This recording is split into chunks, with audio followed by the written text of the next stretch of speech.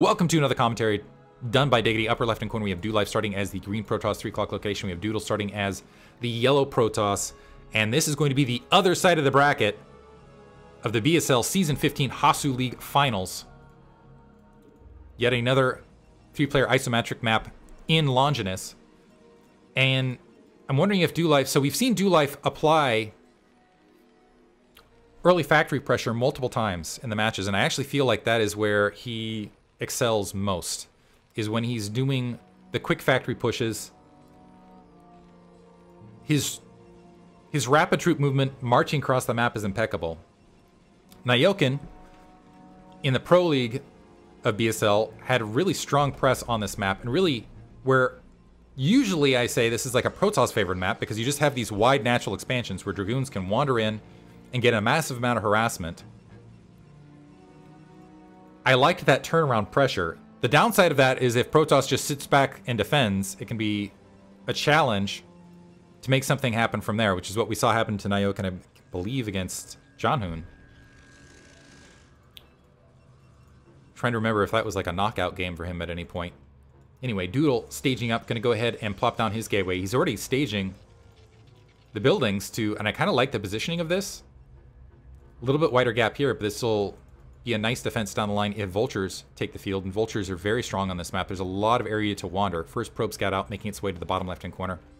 Barracks alongside that command center, refinery, and supply depot to the south.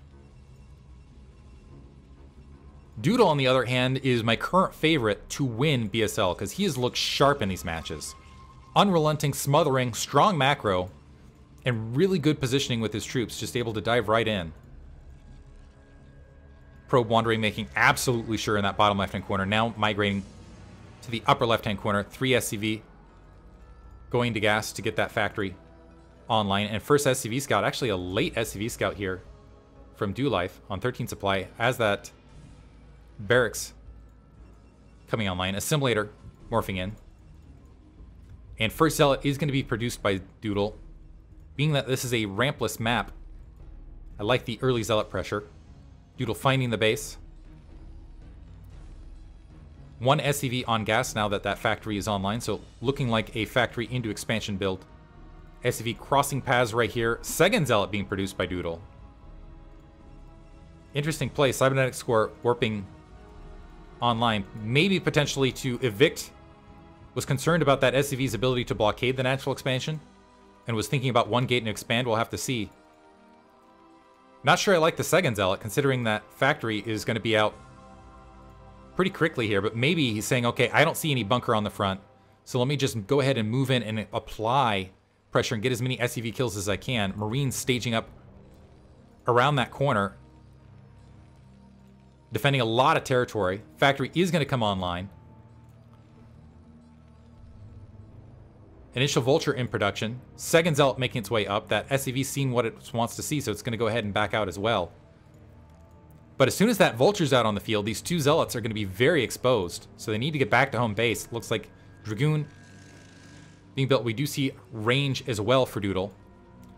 Holding on the ramp short just in case they're being chased. And actually, no, they just want to hold on the ramp in general. Four Marines, Machine Shop being dropped, a fifth Marine in production, which suggests we are going to see a push from Dolife of some form or another.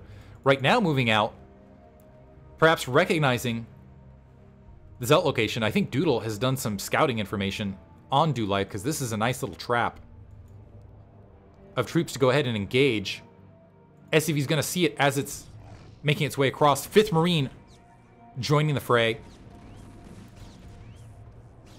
And this is enough of an attack force that, yeah, Dolife's going to have to back up and wait for additional reinforcements. SCV's pulling off the line, trying to get, actually almost able to get on top of that Dragoon. This is going to delay some mining here for Life. So it's three SCVs that are off, plus the investment of the early Marines.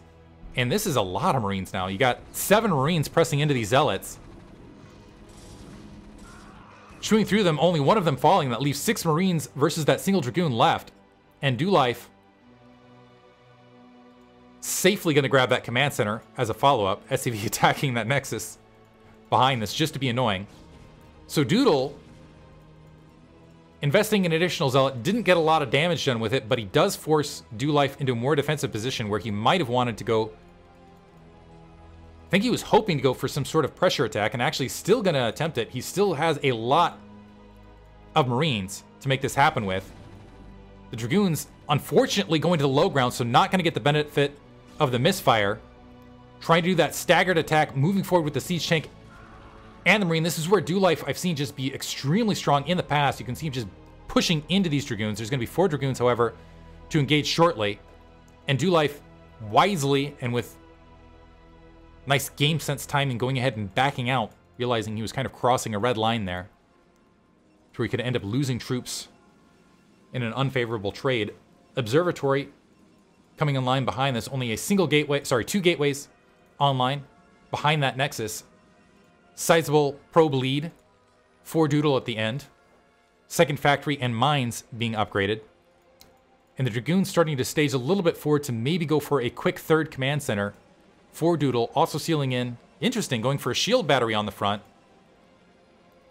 Upon seeing all those Marines, doesn't want to have to deal with any... And that's actually kind of an interesting play. Knowing that Marines shield shred just extremely rapidly, having that shield battery there to deal with that and is just going to, and that will allow him to not have to potentially produce zealots for a follow-up defense.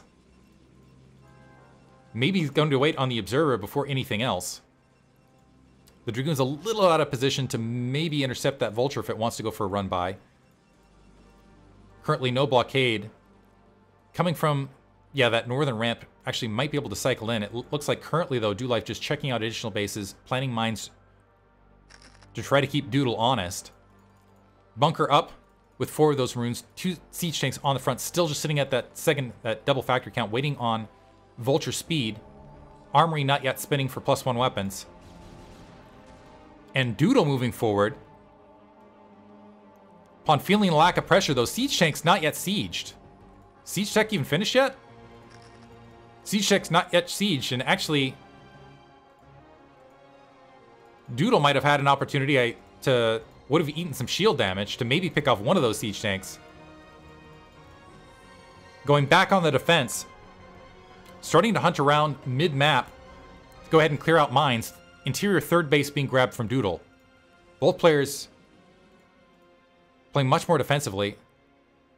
Vulture looking kind of wandering around the map. Good mine coverage. We do have that Vulture also sneaking that bottom left-hand corner. It looks like that Vulture going to get cleared out. But I'm hoping to see, yeah, we are seeing a third factory down. I want to see those vultures in the mid game because there's just a lot of room to cover from Longinus, and Doodle knows it, knows how important this high ground is. You can see him staging up around these ramps already to make sure that Dolife isn't able to capitalize on the mid-map maneuverability. Still holding at the two gateway count. And as I say that, teching on two additional gateways, but playing a little bit gateway light. Vulture's able to dive in, confirm that third base, take out a probe. Not able to get a lot else, but still something. Shuttle online. Three factories, two machine shops, plus one weapons, about halfway finished. We finished around, I think that's around the 1030-ish mark. Commentator game sense of when it started and where that bar is. Academy, see how accurate it is. Try to make a mental note of that. Academy coming online, which will allow some comsat, so Dolife can get an idea of what Doodle's up to. It looks like Doodle just wants to play this straight economically. Is getting that Citadel of Adun to get Zealot leg speed, also dropping that Forge to go for upgrades. I think just going to play it straight up standard. This is looking like a very stereotypical PVT at this stage, and I mean like classic stereotypical. Three base versus two base. Shuttle in the mid game. movements potentially to go for Arbiter. We'll see. I'm wondering if Doodle is... We have seen some players fielding that more modern meta of massive shuttle with speed. Speaking of shuttle, wandering in, going to be able to avoid that southern turret. Get a big drop. Dolife not spotting it. SCV's actually attacking the Reaver. Not something you want to see happen. But where's the Reaver attacking? Missing opportunities with that second Scarab. Wow, that what was with that Reaver? That was I have to assume that was an AI glitch. And I have to assume that Dolife was like, okay, this is going to get a ton of SCV kills if I just plan it down. Zealot dropping, but a, a lack of fire right there as the Reaver dropped. So Zealot to absorb the Siege Tank shot, wanted to get another shell out, but not quite able to do so. Observer wandering its way in is going to get wiped out. Just wants to see the positioning of the siege tanks before unloading. One siege tank down. And a lot of economic disruption now from Dolife, losing a good amount of SCVs here and there, but also currently completely not mining at his main. No Goliath in production. So Defiantly, and ooh, an SCV trap to the north. That's never fun. So Defiantly just wanting to try to play defense, refusing to build, yeah, something to evict it. it looks like the Reaver dropping to the north, getting immediately splorched. Splorched going to be the operator. Ooh, actually double SCV trap. So we got one SCV trapped here, one SCV trapped here for Dolife. So it has to feel a little bit unfortunate, but I don't realize, I don't know if he realizes how fortunate he got earlier with that Reaver shot. Or it could have just done it, could have obliterated the main entirely, to be honest. Shuttle is going to escape, which means it's going to be utilizable here in the mid game. Dolife feeling the pressure, moving out with those siege tanks. The Dragoons to the north going to see it. Now the question is, is does Doodle have enough to stop this? He, he lost that Reaver in the harassment.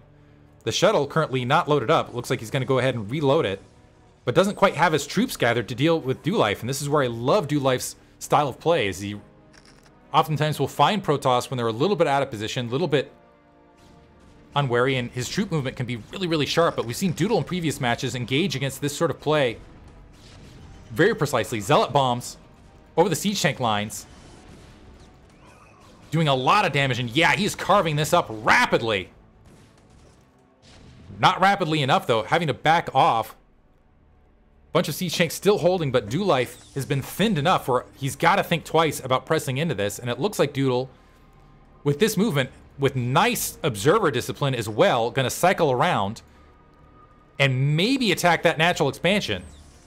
And that should definitely force these siege tanks back. And now Dolife in a situation where he's got to run unsieged, potentially. Reaver taking fire from that bunker into that back position. Doodle needs to be careful. He's leaving himself an exit lane. But with all of this, he's still macroing behind this, up to 62 probes, and forcing Dolife back to two bases. And this is as a probe transfer is migrating a flock of probes. Dolife not having any of it, he's like, no, I'm not going for a third base. We are going to continue this pressure. He's got five factories up, plus one weapons online. Pressing through Doodle, again trying to shoot that gap to force those troops back. I don't know that Dolife is going to draw back at this stage. Maybe he's just going to rely on reinforcement to defend. No, now drawing back. But this is a lot of time wasted as he's kind of debating whether to commit one direction or the other. And that's allowing Doodle's troop count to grow to deal with this threat. Siege tanks remaining unsieged to barrel into this. It looks like mines planted along, along, along that rear flank going to be able to clear out Doodle's Dragoon force. But he's got a lot of Zealots with Zealot leg speed and another attack force grouped also able to pull that, that shuttle out with that Reaver. Has an immense amount of gateways behind this. I'm looking at a gateway count of 10 as far as a follow-up. So Doodle with some beautiful troop positioning and is once again going to establish on the high ground. Dolife has still made no motions sorry, finally a first motion to grab a command center at the third, but this is going to be a very late third for him. A lot of those attacks were completely stymied, and he invested heavily in factory and troops in the mid game. But Doodle, nearing 200, looking very, very strong. And I like what he's doing here. Actually, he's going to go for it. I thought he was just going to stage those troops forward, but the Zealot's able to get right on top that siege tank line at the natural expansion. The Reaver's dropping, dropping huge shell shots. And with that splash, clearing out a lot of units, the Zealots peeling forward. They have plus one weapons and completely obliterating Dolife's army. Doodle recognizing a, a huge supply lead and could end it here, pulling the trigger, pushing in, and Dolife scattered. Reinforcements marching their way up to reinforce. And I think that Reaver and that shuttle, I think they're still alive somewhere around here. But natural expansion has zealots all over it. Siege tanks, as they're sieging up, have zealots right on top of them. The Dragoons can focus fire that command center down or go ahead and walk right in. This game is over. Doodle controlling it here. Dolife desperately trying to survive. It looks like, yeah, now finally this Reaver and Shuttle making their way up. 29 SCVs and dropping remaining for Dolife. And Zealots able to mine drag into siege tanks at the gap of the natural expansion. Finally a GG from Dolife. And a very convincing game one win game one win from Doodle. Great play, top to bottom. I particularly enjoyed that troop movement. Mwah! Beautiful. Doodle looking strong. Hope you guys enjoyed it. We're going to move on to game two. Thanks for listening.